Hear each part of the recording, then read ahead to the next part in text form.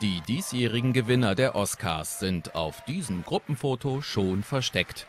Die Nominierten der wichtigsten Auszeichnungen in der Filmbranche hatten sich am Montag in Beverly Hills zu einem Gruppenfoto versammelt.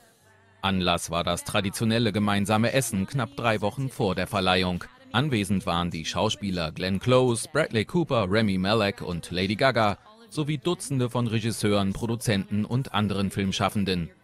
Für den Deutschen Florian Henkel von Donnersmarck musste die Kamera ein bisschen nach oben schwenken. Sein Film Werk ohne Autor ist in den Kategorien Bester fremdsprachiger Film und Beste Kamera nominiert.